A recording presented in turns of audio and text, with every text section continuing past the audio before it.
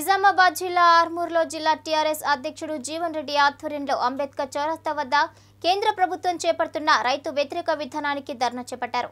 కేంద్ర ప్రభుత్వం పసుపు వరి ధాన్యాలపై ఖచ్చితమైన నిర్ణయాన్ని ప్రకటించాలని అన్నారు. గల్లీలో ఒక మాట ఢిల్లీలో ఒక మాట మాట్లాడడం బీజేపీ నాయకులకు వెన్నెతో పెట్టిన విద్య అని అన్నారు. ఇప్పటికైనా రైతులకు న్యాయం జరిగే విధంగా టీఆర్ఎస్ పార్టీ రైతులకు బాస్టాగా ఉంటూ వారి యొక్క సమస్యలు తీర్చే వరకు పోరాటం చేస్తుందని ఎమ్మెల్యే జీవన్ రెడ్డి తెలిపారు.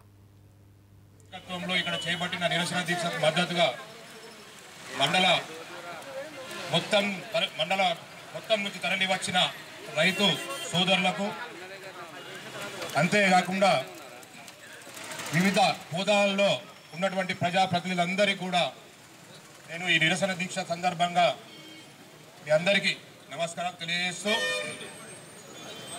కేవలం రెండే రెండు విషయాలు ఈ సందర్భంగా మీ ద్వారా ఈ ప్రాంత రైతాంగానికి తెలియదలుచుకున్నాను ప్రపంచంలో ఎక్కడా లేని విధంగా తెలంగాణ రాష్ట్రం సిద్ధించిన తర్వాత రైతు బాంధవుడైనటువంటి మన ప్రియతమ ముఖ్యమంత్రి కేసీఆర్ గారి నాయకత్వంలో భారతదేశమే కాదు ప్రపంచంలో ఎక్కడ లేని విధంగా అద్భుతమైన సందర్భంగా నమస్కారాలు